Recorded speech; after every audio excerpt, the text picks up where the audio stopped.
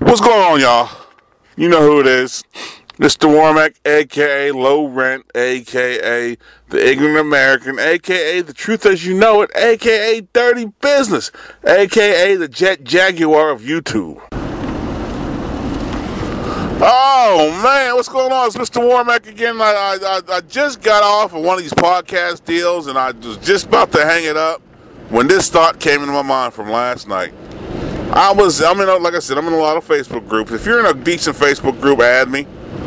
Trust me, I'm in a lot of decent Facebook groups. And uh, we were talking about like crime, this, that, and the fifth. And here comes the old Negro spiritual songs.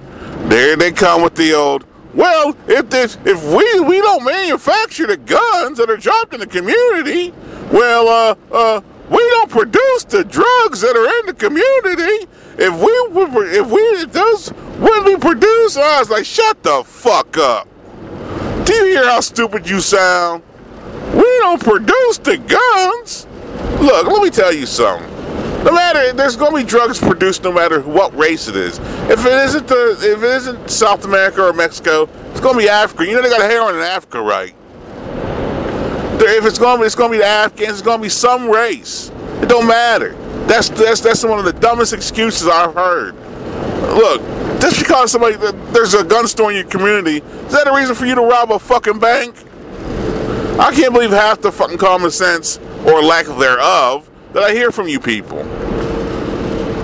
Or this one. Now we all know the CIA dropped drugs in the black community. We all know this. But at the same time, is that your reason for selling drugs?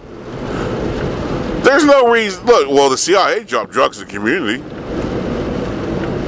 Well, hell. Well, well, sign me up. I mean, come on. At the end of the proverbial day, you have to accept some responsibility for the fucking stupid shit you're doing. I, I, I, like I said, I laughed when I heard this one. We don't. We CIA dropped drugs in the community. That doesn't mean you gotta sell them. So since the CIA dropped death dealing drugs in your community, you have to sell them to your fellow brothers and sisters because you, you feel obligated to the CIA to sell drugs.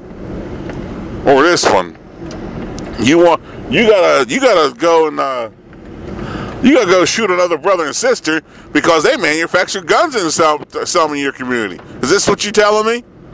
It don't matter who's in control. Look, it could be black people in control, it could be Asians, Hispanics, whoever. Power corrupts any and all.